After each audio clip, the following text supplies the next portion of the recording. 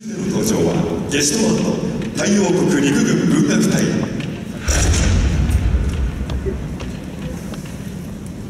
オーケストラマーチングバンドとしてさまざまな式典において活動しこの度 ASEAN40 周年を記念してこの音楽祭りに初めてご参加いただきました。演奏曲には震災を思い制作された日本国名の曲もあり海を越えた仲間の思いが響き渡ります。